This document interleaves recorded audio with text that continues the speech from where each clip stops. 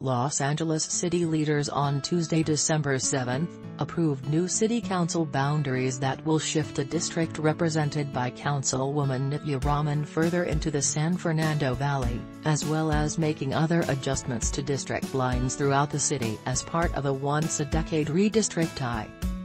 Under the approved map, Raman's 4th district would lose Hancock Park, Miracle Mile, Park La Brea, Mid-City, much of Hollywood and part of Silver Lake.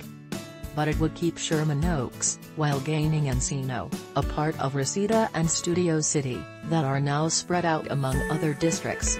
Meanwhile, the 5th Council District, now represented by Councilman Paul Koretz, would no longer be part the San Fernando Valley, under the ordinance approved by the Los Angeles City Council on Tuesday on a 13-0 vote.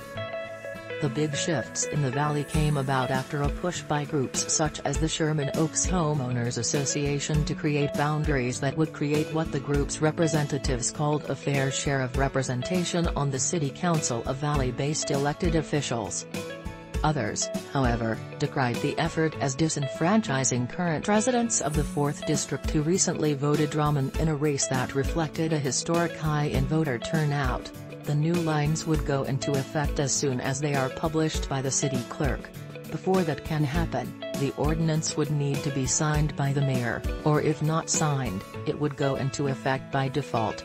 The mayor also has the option to veto the ordinance. Mayor-elect Harrison Wollman said Tuesday following the vote that Mayor Eric Garcetti plans to sign the ordinance that would put into effect the new map, as well as an accompanying redistricting ordinance for new Los Angeles Unified School District boundaries. The city council vote on the ordinance was delayed about a week after staffers said a technical correction needed to be made.